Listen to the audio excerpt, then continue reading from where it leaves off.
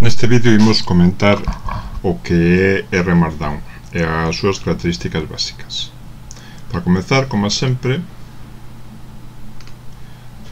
imos crear un, un directorio de traballo.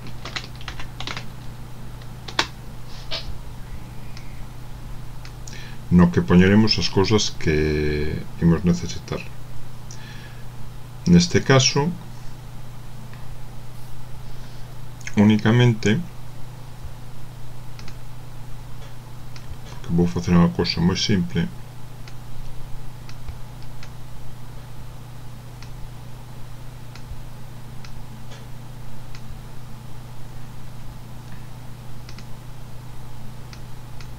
Un proxecto de R creado noutra carpeta.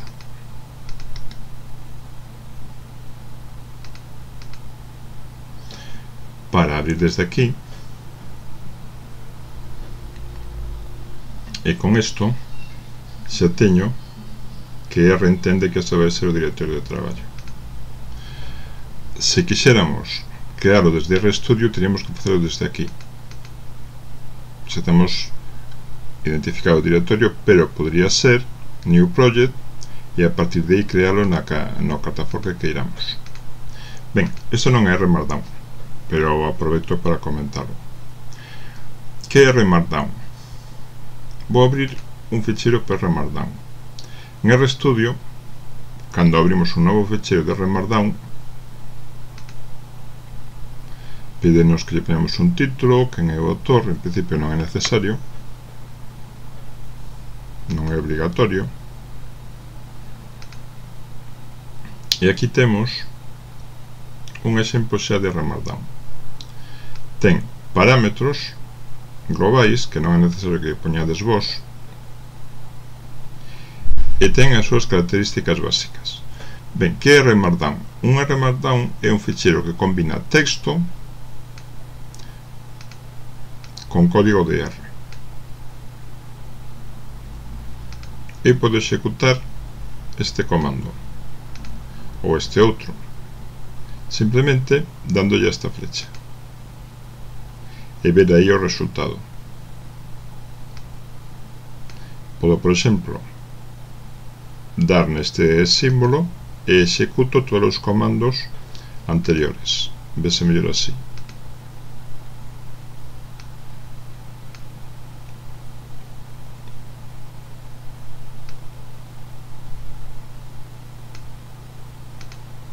E aí unha gráfica. Entón, esta é unha combinación destas dúas cousas. Podría servir para elaborar un informe que se vai modificando a medida que cambian os datos. O texto está preparado, habría que retocalo e refarían os cálculos cada vez que se use. Porque isto nós podemos transformalo en outro tipo de formatos. Se damos aquí, permite-nos transformalo en formato HTML, PDF Word. Hai tamén unha posibilidade de transformalo en formato de LibreOffice pero hai que indicarlo. De momento conformámonos con isto entón, se é a primeira vez que o executades vai vos preguntar, vai vos pedir que instaledes unha serie de paquetes que son de R pero non están instalados e, e necesítanse para facelo. Neste exemplo como xa usei máis veces R Markdown non mo pide. Entón, solo aí teñolle que dar un nome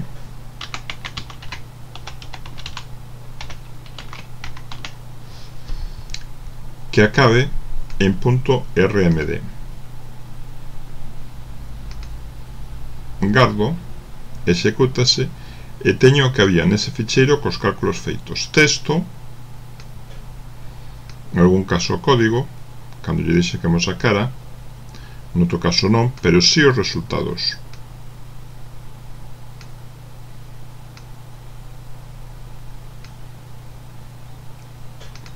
Este é o resultado deste comando.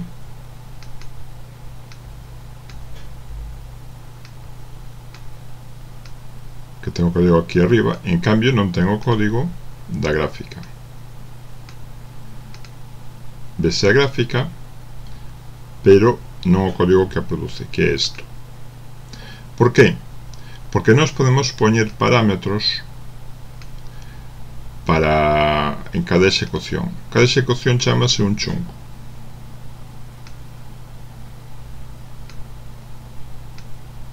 Un chung de código. Entón, podemos poñer un nome se os queremos identificar ou non,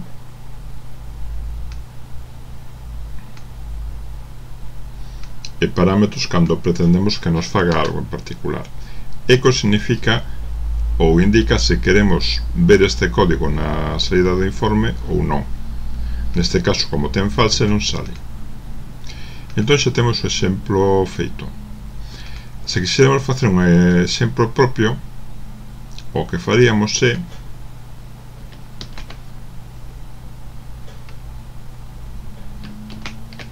borralo todo e volver a empezar. Bueno, antes de borrarlo todo algún concepto máis o texto que se coloca ten marcas marcas para formatear. Estes dous símbolos indican que isto é un título título de segunda orden isto significa que esa palabra está en negrilla. Isto é unha ligazón a ese sitio entonces de esa forma podemos ir preparando os formatos. Vemos que aquí salenos un título.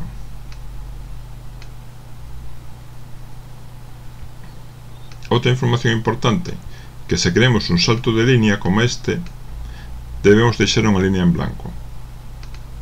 Estas son as cuestións máis básicas. Ahora volvo a limpar e vou empezar vou poñer un título de segunda orden. Ou senón un título de primeira orden.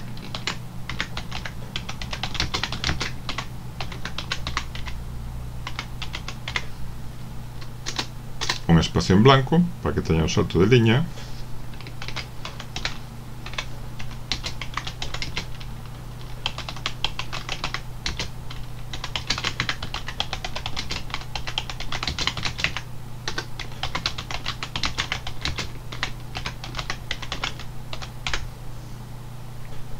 e un texto que me vai aparecer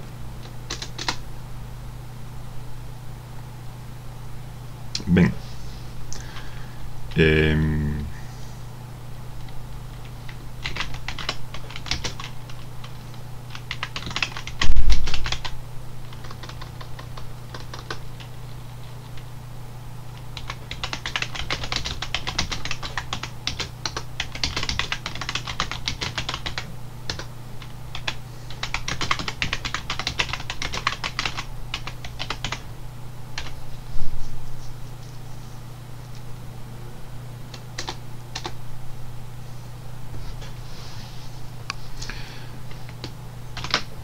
teño un texto xa preparado. Vou preparar un chungo.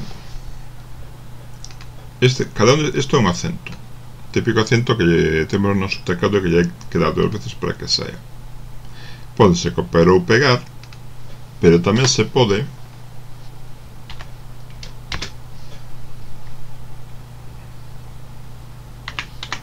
usar un atallo de teclado. Control alt i Se premedes estas tres teclas a vez, aparece esta expresión. E aí podo escribir, vou usar como datos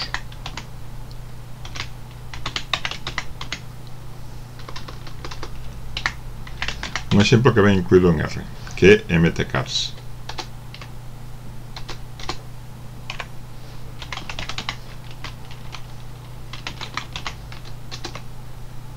Vexo as variables que ten. Bueno, para executar podes executar aquí, executar por líneas pero máis cómodo é isto, isto executa o chunk inteiro pero se queres executar de un en un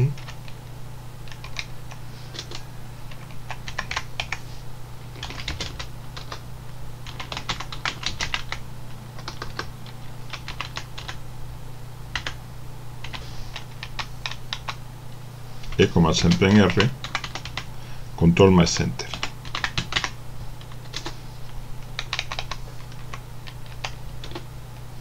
ben, teño aí varias variables. MPG e consumo.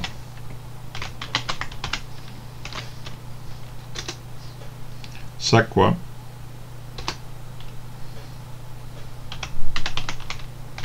e peso. Vou facer cousas con estas dúas variables. Executo e xa teño aquí consumo e peso. Podedes ver se deso help en que consiste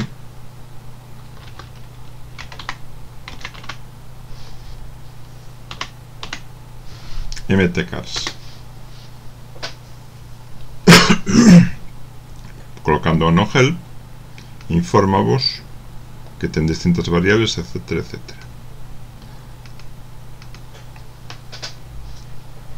Ben,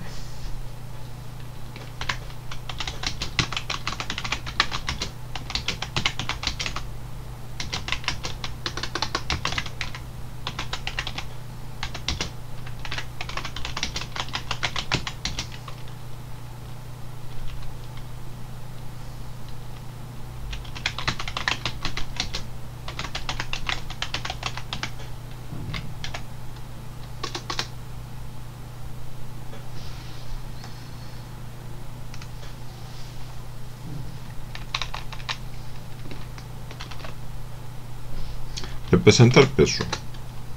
Mm, miro a variable. Aquí xa sei que é unha variable continua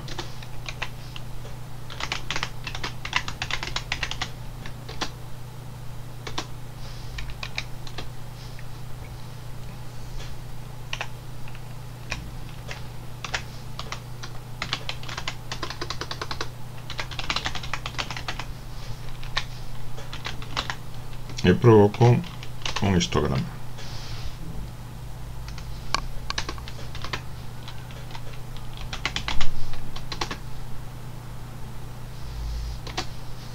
Podo curiosear e facer o mismo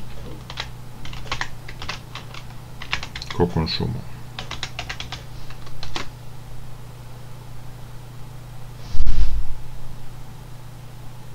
Se executo xunto, dame unha saída para resultados e outra para cada unha das gráficas.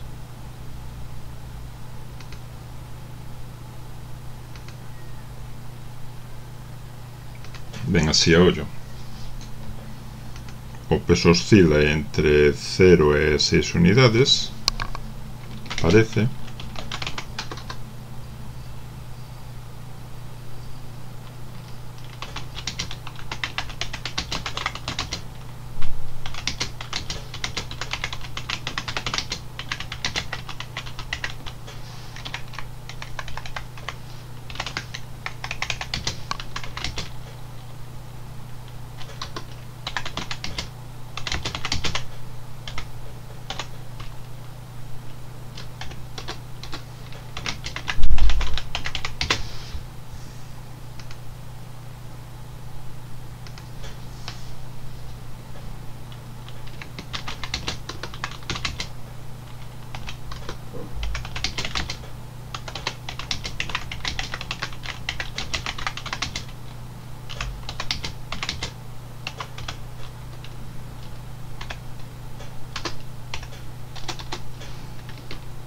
de todas formas control alt I sempre é mellor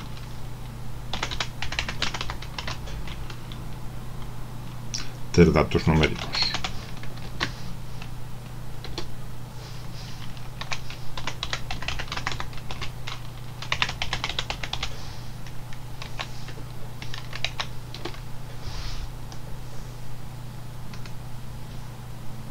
non intervalos se vese o máximo exacto mínimo exacto e outras posibilidades. Ben, para aquí ahora un título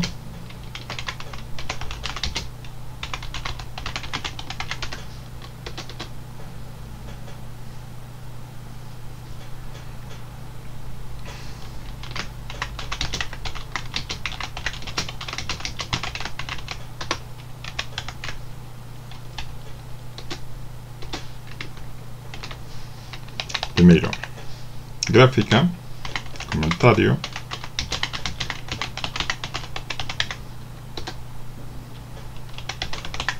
plot. Neste caso, consumo e peso. O consumo depende do peso, máis peso, máis consumo. É razonable. Por lo tanto, X, peso, primeira, e segundo, consumo.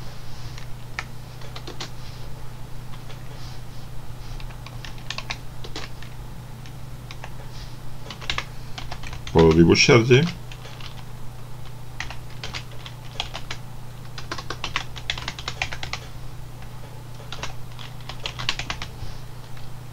unha regresión de cor vermella.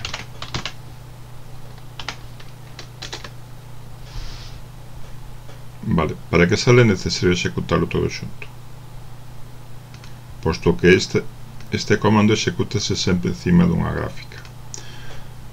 Un pequeno inciso. Para avanzar máis rápido estou colocando estes comandos de, memoria, pero están nas chuletas que acostumo a dar para clase. Simplemente buscalas aí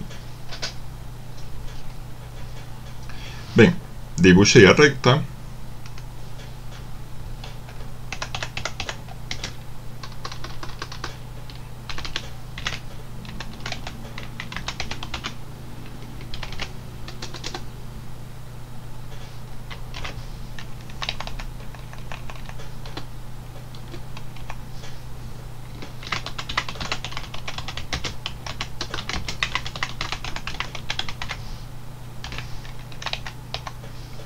regresión LM e métese unha fórmula como é unha fórmula hai que pensar na fórmula de regresión como é i en función de x. Primeiro variable i consumo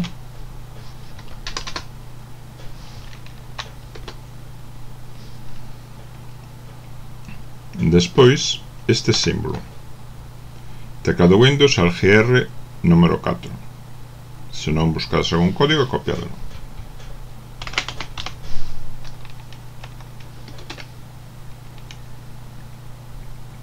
salen os coeficientes, pero podedes obter máis información se aplicades un summary. Summary é un comando xenérico. Apliquei no antes a, un, a unha variable, a un vector, e sacoume mínimo, cuartiles, mediana, media e máximo. Pero aplicada a unha regresión, en cambio, que é que fago aquí, sácame información relevante sobre esa regresión. Entre elas o coeficiente de correlación, neste caso é o simple, que tamén se pode sacar como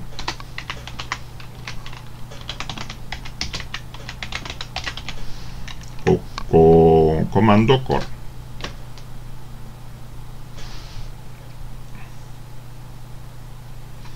Relación inversa, correlación bastante alta, e coeficiente de determinación.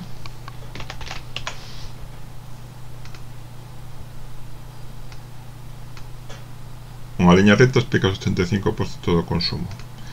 E máis peso eh, menos MPG aquí non expliquei ben esta variable.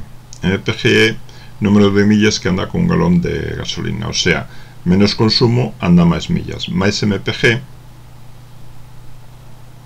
significa menos consumo. Entón, máis peso significa que anda menos millas e, polo tanto, máis consumo. Ollo que as interpretacións que facedes.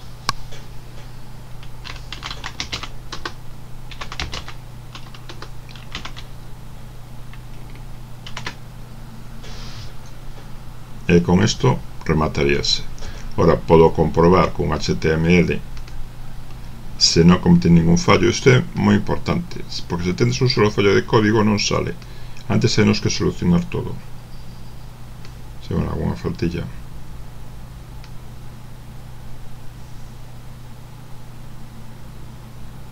Parece aceptable.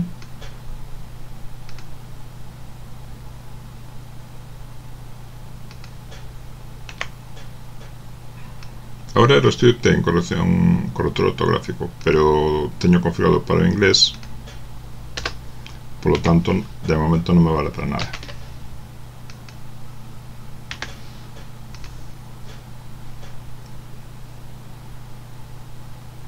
Ben, como supoño que xa está listo, ahora podía sacar unha versión definitiva en PDF.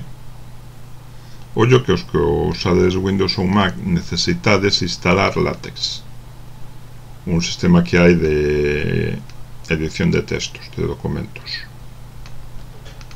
E como xo teño instalado, saime así. Pero para vos, en principio e de momento,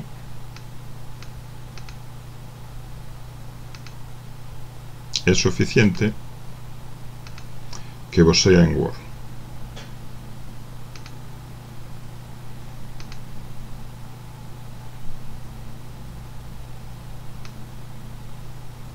De acordo.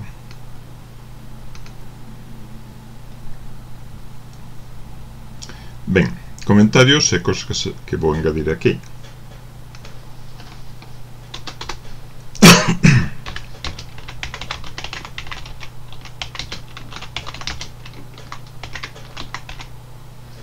Os distintos símbolos e algúns parámetros que podedes usar están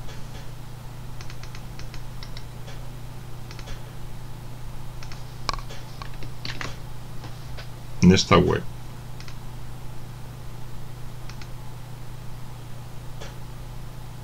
Podelo ver aquí.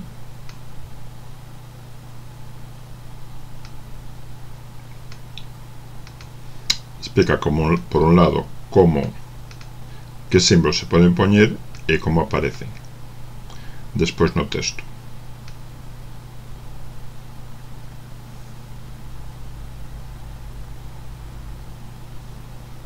Después aparecen distintas posibilidades de código, etcétera, etcétera. Quedamos para explorar.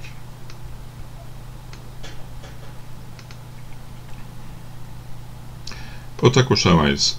Eh, eh, están aparecendo problemas cando se executa cando se intenta facer nick con textos que teñen acento.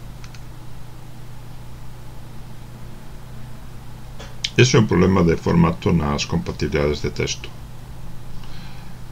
En principio non teño problema porque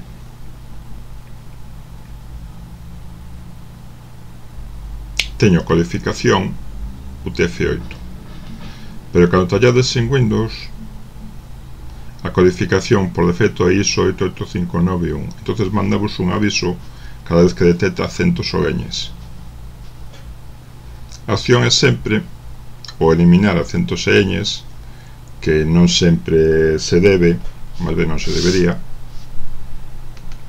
ou senón guardalo, eu xa teño guardado e reabrilo ca, cunha codificación UTF-8 é posible que eso resolva o problema aunque con esta informática nunca se sabe. Entón, este é unha introdución suave e breve ao Aramardán.